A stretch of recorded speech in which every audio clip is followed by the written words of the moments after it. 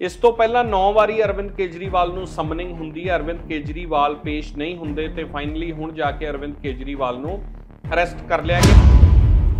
ਇਹਦੀਆਂ ਤਾਰਾਂ ਸਾਊਥ 'ਚ ਜਾ ਕੇ ਜੁੜਦੀਆਂ ਨੇ, ਜੋ ਹੁਣ ਤੱਕ ਈਡੀ ਕਹਿੰਦੀ ਆਈ ਹੈ। ਇਹਦੇ ਵਿੱਚ ਇਹ ਗੱਲ ਕਿਹਾ ਗਿਆ ਕਿ ਇੰਡੋ ਸਪਿਰਿਟਸ ਤੇ ਜਿਹੜੇ ਮਾਲਕ ਸੀਗੇ, ਉਹਨਾਂ ਦੀ ਮੁਲਾਕਾਤ ਜਿਹੜੀ ਹੈ, ਉਹ ਅਰਵਿੰਦ ਕੇਜਰੀਵਾਲ ਦੇ ਨਾਲ ਵਿਜੇ ਨਾਇਰ ਨੇ ਕਰਾਈ। ਰਾਗਵ ਮਗੰਤਾ ਨਾਂ ਦਾ ਬੰਦਾ ਜਿਹੜਾ ਸਭ ਤੋਂ ਪਹਿਲਾਂ ਇਸ ਮਾਮਲੇ 'ਚ ਅਰੈਸਟ ਹੁੰਦਾ ਹੈ ਤੇ ਅੱਜ ਉਹ ਵਿਟਨੈਸ ਵੀ ਹੈ ਇਸ ਕੇਸ ਦਾ।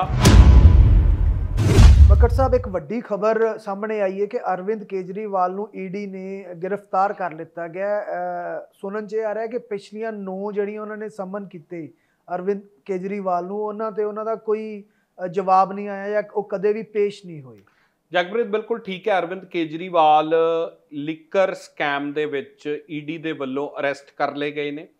ਕੁਝ ਦੇਰ ਪਹਿਲਾਂ ਇਹ ਅਰੈਸਟ ਜਿਹੜੀ ਪਈ, ਲਗਭਗ 2 ਘੰਟੇ ਦੀ ਪੁੱਛਗਿੱਛ ਅਰਵਿੰਦ ਕੇਜਰੀਵਾਲ ਤੋਂ ਹੋਈ। ਇਸ ਤੋਂ ਪਹਿਲਾਂ 9 ਵਾਰੀ ਅਰਵਿੰਦ ਕੇਜਰੀਵਾਲ ਨੂੰ ਸਮਨਿੰਗ ਹੁੰਦੀ ਹੈ। ਅਰਵਿੰਦ ਕੇਜਰੀਵਾਲ ਪੇਸ਼ ਨਹੀਂ ਹੁੰਦੇ ਤੇ ਫਾਈਨਲੀ ਹੁਣ ਜਾ ਕੇ ਅਰਵਿੰਦ ਕੇਜਰੀਵਾਲ ਨੂੰ ਅਰੈਸਟ ਕਰ ਲਿਆ ਗਿਆ। ਅੱਜ ਸਵੇਰ ਤੋਂ ਹੀ ਆਤਸ਼ੀ ਹੋਣਾ ਨੇ, ਸੌਰਭ ਹੋਣਾ ਨੇ ਇਸ ਗੱਲ ਦਾ ਜ਼ਿਕਰ ਮੀਡੀਆ ਦੇ ਅੱਗੇ ਕਰਤਾ ਸੀ ਕਿ ਸਾਨੂੰ ਖਦਸ਼ਾ ਹੈ ਕਿ ਅੱਜ ਅਰਵਿੰਦ ਕੇਜਰੀਵਾਲ ਨੂੰ ਅਰੈਸਟ ਕੀਤਾ ਜਾ ਸਕਦਾ ਹੈ। ਦਰਅਸਲ ਇਸ ਪੂਰੇ ਮਾਮਲੇ ਨੂੰ ਜੇਕਰ ਘੋਖਿਆ ਜਾਵੇ ਤਾਂ ਇਹਦੀਆਂ ਤਾਰਾਂ ਸਾਊਥ 'ਚ ਜਾ ਕੇ ਜੁੜਦੀਆਂ ਨੇ, ਜੋ ਹੁਣ ਤੱਕ ਈਡੀ ਕਹਿੰਦੀ ਆਈ ਹੈ। ਇੱਕ ਪ੍ਰੈਸ ਨੋਟ ਦੇ ਵਿੱਚ ਵੀ ਈਡੀ ਨੇ ਲਿਕਰ ਸਕੈਮ ਦੇ ਵਿੱਚ ਅਰਵਿੰਦ ਕੇਜਰੀਵਾਲ ਨੂੰ ਮੇਨ ਕਨਸਪੀਰੇਟਰ ਦੇ ਤੌਰ ਤੇ ਲਿਖਿਆ। ਈਡੀ ਨੇ ਕਿਹਾ ਕਿ ਅਰਵਿੰਦ ਕੇਜਰੀਵਾਲ ਇਸ ਸਕੈਮ ਦੇ ਮੇਨ ਕਨਸਪੀਰੇਟਰ ਨੇ। ਸਾਊਥ ਲੌਬੀ ਸ਼ਬਦ ਦਾ ਬੜਾ ਜ਼ਿਕਰ ਆਇਆ ਕਿ ਸਾਊਥ ਲੌਬੀ ਹੈ। ਹੈਰਾਨੀ ਦੀ ਗੱਲ ਹੈ ਕਿ ਸਾਊਥ ਲੌਬੀ ਹੈ ਕੀ? ਦਰਅਸਲ ਜਿਹੜੀ ਇਹ ਲਿਕਰ ਪਾਲਿਸੀ ਬਣਾਈ ਗਈ ਜਿਹੜੀ ਐਕਸਾਈਜ਼ ਦੀ ਪਾਲਿਸੀ ਜਿਹੜੀ ਬਣਾਈ ਗਈ ਜੀ। ਉਸ ਪਾਲਿਸੀ ਦੇ ਵਿੱਚ ਸ਼ੁਰੂਆਤੀ ਦੌਰ 'ਚ ਤੁਹਾਡੇ ਯਾਦ ਹੋਣਾ ਕਿ ਵਿਜੇ ਨਾਇਰ ਜਿਹੜੇ ਪੰਜਾਬ ਦੇ ਵਿੱਚ ਵੀ ਜਦੋਂ ਸਰਕਾਰ ਬਣੀ ਤਾਂ ਆਮ ਆਦਮੀ ਪਾਰਟੀ ਦਾ ਦਿੱਲੀ ਇਕਾਈ ਦਾ ਵੱਡਾ ਚਿਹਰਾ ਸੀ ਜਿਹੜੇ ਸਰਕਾਰ ਬਣਨ ਤੱਕ ਬਣਾਉਣ ਦੇ ਵਿੱਚ ਔਰ ਉਸ ਤੋਂ ਬਾਅਦ ਵੀ ਚੀਜ਼ਾਂ ਨੂੰ ਆਪਰੇਟ ਕਰ ਰਹੇ ਸੀਗੇ। ਜੀ। ਵਿਜੇ ਨਾਇਰ ਦੀ ਅਰੈਸਟ ਹੁੰਦੀ ਹੈ ਈਡੀ ਦੋਸ਼ ਲਾਉਂਦੀ ਹੈ। ਵਿਜੇ ਨਾਇਰ ਦੀ ਅਰੈਸਟ ਤੋਂ ਜਿਹੜਾ ਬਹੁਤ ਸਾਰੀਆਂ ਗੱਲਾਂ ਈਡੀ ਉੱਥੋਂ ਲੈ ਕੇ ਆਉਂਦੀ ਹੈ। ਇਹਦੇ ਵਿੱਚ ਇਹ ਗੱਲ ਕਿਹਾ ਗਿਆ ਕਿ ਇੰਡੋ ਸਪਿਰਿਟਸ ਤੇ ਜਿਹੜੇ ਮਾਲਕ ਸੀਗੇ ਉਹਨਾਂ ਦੀ ਮੁਲਾਕਾਤ ਜਿਹੜੀ ਹੈ ਉਹ ਅਰਵਿੰਦ ਕੇਜਰੀਵਾਲ ਦੇ ਨਾਲ ਵਿਜੇ ਨਾਇਰ ਨੇ ਕਰਾਈ ਸੀ। ਦਰਅਸਲ ਦੋਸ਼ ਇਹ ਲੱਗੇ ਇਸ ਇਸ ਪੂਰੀ ਗੱਲ ਤੋਂ ਪਹਿਲਾਂ ਮੈਂ ਇਹ ਦੱਸ ਦਿੰਨਾ ਕਿ ਸਾਊਥ ਲੌਬੀ ਦਾ ਜ਼ਿਕਰ ਤਾਂ ਆਇਆ ਕਿ ਜਿਹੜੇ ਇਦੋਂ ਪਹਿਲਾਂ ਤੇਲੰਗਣਾ 'ਚ ਜਿਹੜੀ ਸਰਕਾਰ ਸੀ ਜੀ।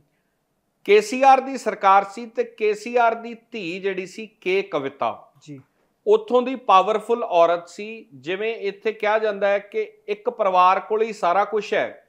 ਉਸ ਸਰਕਾਰ ਦੇ ਵਿੱਚ ਬੀਆਰਐਸ ਦੀ ਸਰਕਾਰ ਸੀ ਪਾਰਟੀ ਦੀ ਜਦੋਂ ਆਂਧਰਾ ਪ੍ਰਦੇਸ਼ ਤੋਂ ਅੱਡ ਹੋ ਕੇ ਬਣਦਾ ਹੈ ਤੇਲੰਗਣਾ ਹైదరాబాద్ ਤੇ ਤੇਲੰਗਣਾ ਦੇ ਵਿੱਚ ਵੱਡੇ ਮਾਰਜਨ ਦੇ ਨਾਲ ਜਿਵੇਂ ਪੰਜਾਬ ਦੇ ਵਿੱਚ ਤੇ ਦਿੱਲੀ ਦੇ ਵਿੱਚ Aam Aadmi Party landslide victory ਲੈਂਦੀ ਹੈ ਉਵੇਂ ਉੱਥੇ ਕੇਸੀਆਰ ਹੋਣੇ ਤੇਲੰਗਣਾ ਦੇ ਵਿੱਚ ਲੈਂਡਸਲਾਈਡ ਵਿਕਟਰੀ ਲੈਂਦੇ ਆ ਜੀ।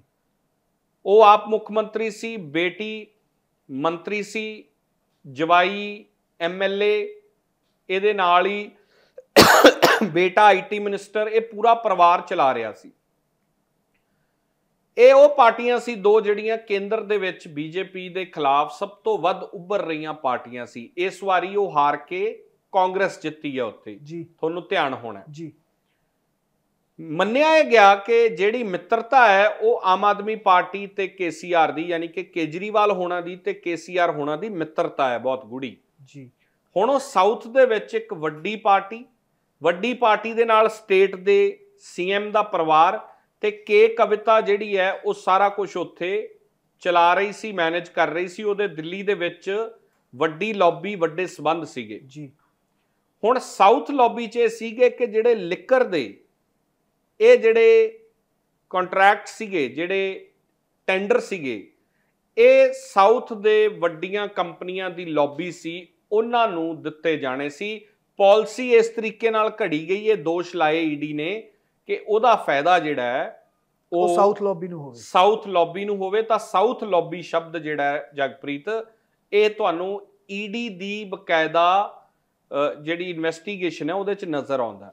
ਮਤਲਬ ਤੁਹਾਡੇ ਕਹਿਣ ਤਾਂ ਕਹਿਣ ਮਤਲਬ ਇਹ ਹੈ ਕਿ ਇਸ ਤਰੀਕੇ ਨਾਲ ਪਾਲਿਸੀ ਬਣਾਈ ਗਈ ਕਿ ਸਾਰਾ ਜਿਹੜਾ ਲਿਕਰ ਕਿੰਗ ਨੇ ਉੱਥੋਂ ਦੇ ਉਹ ਕੇਸੀਆਰ ਹਰਾ ਨੂੰ ਅ, ਜਿਹੜੀ ਕੇਸੀਆਰ ਉੱਥੋਂ ਦੀ ਪੋਲੀਟੀਕਲ ਪਾਰਟੀ ਹੈ ਉਹ ਮਤਲਬ ਬੇਸਿਕਲੀ ਇੱਕ ਪਰਿਵਾਰ ਜਾਂ ਜਿਹੜੇ ਉੱਥੋਂ ਦੇ ਸਟਰੋਂਗ ਬਿਜ਼ਨਸ ਹੋਲਡਰ ਸੀਗੇ ਉਹਨਾਂ ਨੂੰ ਪਹੁੰਚਾਇਆ ਜਾਵੇ। ਕੇਸੀਆਰ ਮੁੱਖ ਮੰਤਰੀ ਸੀਗੇ ਉੱਥੋਂ ਦੇ ਉਹਨਾਂ ਦੀ ਬੇਟੀ ਕੇ ਕਵਿਤਾ ਸੀ। ਕੇ ਕਵਿਤਾ ਇਸ ਮਾਮਲੇ ਦੇ ਵਿੱਚ ਈਡੀ ਨੇ ਆਲਰੇਡੀ ਉਹਨਾਂ ਤੋਂ ਪੁੱਛਗਿੱਛ ਕੀਤੀ। ਇਹਦਾ ਕਨੈਕਸ਼ਨ ਜੁੜਿਆ ਅਰਵਿੰਦ ਕੇਜਰੀਵਾਲ ਹੋਣਾ ਦੇ ਨਾਲ।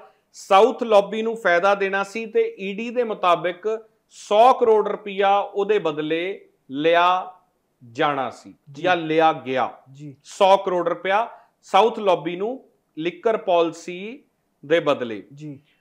ਰਾਘਵ ਮਗੰਤਾ ਨਾਂ ਦਾ ਬੰਦਾ ਜਿਹੜਾ ਸਭ ਤੋਂ ਪਹਿਲਾਂ ਇਸ ਮਾਮਲੇ 'ਚ ਅਰੈਸਟ ਹੁੰਦਾ ਹੈ ਤੇ ਅੱਜ ਉਹ ਵਿਟਨੈਸ ਵੀ ਹੈ ਇਸ ਕੇਸ ਦਾ ਜਿਹਦੇ ਕਿਹਾ ਕਿ ਮੇਰੇ ਪਿਤਾ ਵਾਈਐਸਆਰ ਕਾਂਗਰਸ ਦੇ ਐਮਪੀ ਨੇ ਉਹਨਾਂ ਨੇ ਮੁਲਾਕਾਤ ਅਰਵਿੰਦ ਕੇਜਰੀਵਾਲ ਨਾਲ ਇਸ ਮੁੱਦੇ ਦੇ ਉੱਤੇ ਜਿਹੜੀ ਹੈ ਉਹ ਕੀਤੀ।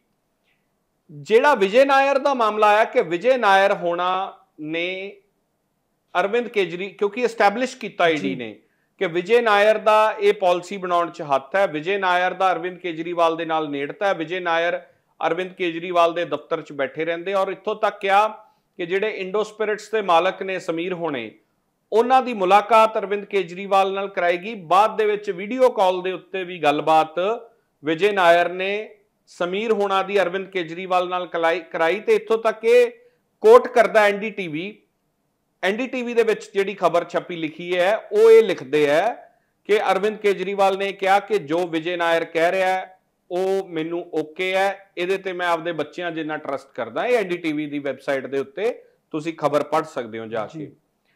ਇਸ ਪੂਰੇ ਮਾਮਲੇ 'ਚ ਫਿਰ ਜਿਹੜਾ ਇਹ ਗੱਲ ਆਉਂਦੀ ਹੈ ਕਿ ਵਿਭਾਗ ਦੇ ਇੱਕ ਅਧਿਕਾਰੀ ਨੂੰ ਜਦੋਂ ਪੁੱਛਗਿੱਛ ਕੀਤੀ ਜਾਂਦੀ ਹੈ ਤਾਂ ਉਹ ਕਹਿੰਦੇ ਕਿ ਸਾਨੂੰ ਬੁਲਾਇਆ ਗਿਆ ਔਰ ਸਾਨੂੰ ਇੱਕ ਪ੍ਰਪੋਜ਼ਡ ਪਾਲਿਸੀ ਦੇ ਦਿੱਤੀ ਗਈ ਕਿ ਇਹ ਪਾਲਿਸੀ ਜਿਹੜੀ ਹੈ ਲਾਗੂ ਕਰ ਦਿਓ। ਇਹ ਪਾਲਿਸੀ ਮੀਟਿੰਗਸ ਦੇ ਵਿੱਚ ਪਹਿਲਾਂ ਡਿਸਕਸ ਨਹੀਂ ਹੋਈ ਸੀ। ਇਹ। ਅਧਿਕਾਰੀਆਂ ਨੇ ਕਿਹਾ। ਜੀ। ਜੋ ਈਡੀ ਦਾ ਕਹਿਣਾ ਹੈ।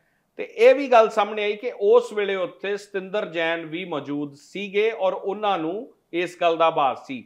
ਤਾਂ ਹੁਣ ਇਹਨੂੰ ਕਨੈਕਟ ਕਰ ਸਕਦੇ ਹੋ ਕਿ ਇਦੋਂ ਪਹਿਲਾਂ ਸਤਿੰਦਰ ਜੈਨ ਦੀ ਗ੍ਰਿਫਤਾਰੀ ਔਰ ਫਿਰ ਆਖਰ ਦੇ ਵਿੱਚ ਮੇਨ ਕਨਸਪੀਰੇਟਰ ਦੇ ਤੌਰ ਤੇ ਈਡੀ ਨੇ ਇਸ ਮਾਮਲੇ ਦੇ ਵਿੱਚ ਅਰਵਿੰਦ ਕੇਜਰੀਵਾਲ ਨੂੰ ਜਿਹੜਾ ਉਹ ਸਮਨਿੰਗ ਕੀਤੀ। 9 ਵਾਰ ਸਮਨਿੰਗ ਹੋਈ, ਅਰਵਿੰਦ ਕੇਜਰੀਵਾਲ ਨਹੀਂ। ਪੇਸ਼ ਹੋਏ ਤੇ ਅੱਜ ਆਖਰ ਅਰਵਿੰਦ ਕੇਜਰੀਵਾਲ ਨੂੰ ਇਹਦੇ ਵਿੱਚ ਅਰੈਸਟ ਕਰ ਲਿਆ ਗਿਆ। ਤੁਹਾਨੂੰ ਨਹੀਂ ਲੱਗਦਾ ਮੱਕੜ ਸਾਹਿਬ ਇਹ ਕਿਤੇ- ਕਿਤੇ ਨਾ ਕਿਤੇ ਸਿੰਪਥੀ ਲੈਣ ਦੇ, ਉਹਦੇ ਨਾਲ ਕੀਤਾ ਜਾ ਰਿਹਾ? ਕਿਉਂਕਿ ਜੇ 9 ਵਾਰੀ ਇੱਕ ਮੁੱਖ ਮੰਤਰੀ ਨੂੰ ਸੰਮਨ ਹੋ ਰਹੇ ਹੈ ਤਾਂ ਤੁਹਾਨੂੰ ਨਹੀਂ ਲੱਗਦਾ ਉਹਨਾਂ ਨੂੰ ਪੇਸ਼ ਹੋਣਾ ਚਾਹੀਦਾ ਸੀ? ਦੇਖੋ ਇਹ ਇਹ ਪੋਲੀਟੀਕਲ ਗੱਲ ਹੈ ਇਹਦੇ ਤੇ ਆਪਾਂ ਜਰਨਲਿਸਟ ਟਿੱਪਣੀ ਨਹੀਂ ਕਰ ਸਕਦੇ। ਸਿੰਪਤੀ ਹੈ ਨਹੀਂ ਹੈ ਪਰ ਅਸੀਂ ਸਿਰਫ ਫੈਕਟਸ ਦੀ ਗੱਲ ਕਰ ਰਹੇ ਹਾਂ।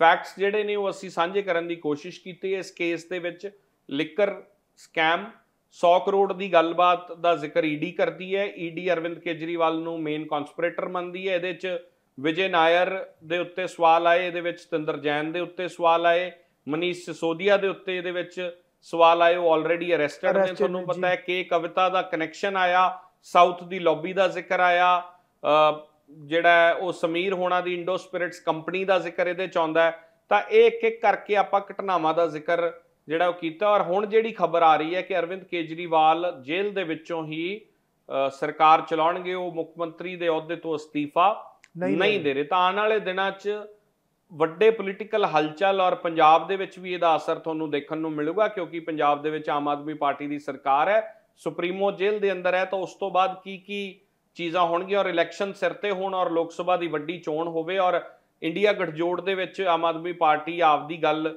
ਰੱਖਦੀ ਆਈ ਹੋਵੇ ਔਰ ਉਹ ਆਪਦੇ ਵੱਲੋਂ ਜਿਹੜਾ ਉਹ, ਉਹਦਾ ਹਿੱਸਾ ਨੇ, ਤਾਂ ਇਹ ਆਪਣੇ ਆਪ ਦੇ ਵਿੱਚ ਇੱਕ ਵੱਡੀ ਪੋਲੀਟੀਕਲ ਜਿਹੜੀ ਦੇਸ਼ ਦੇ ਵਿੱਚ ਡਿਵੈਲਪਮੈਂਟ ਆਪਾਂ ਸਮਝ ਸਕਦੇ ਹਾਂ। ਜੀ।